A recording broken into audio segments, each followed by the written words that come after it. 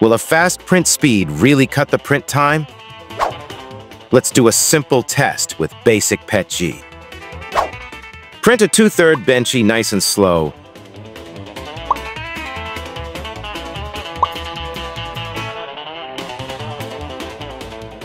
And another with blazing fast speed.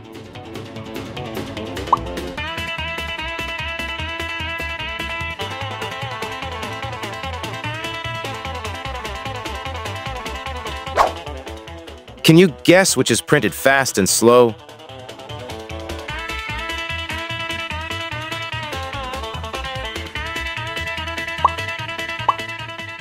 As you can see, the difference is minimal, and fast print only saved 10 seconds.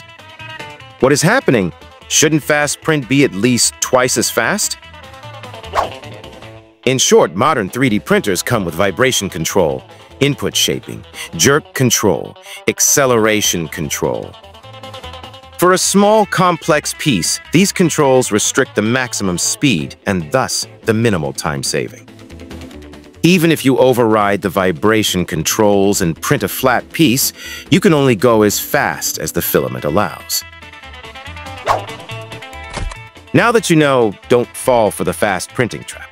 It is subjective and may not cut your print time necessarily.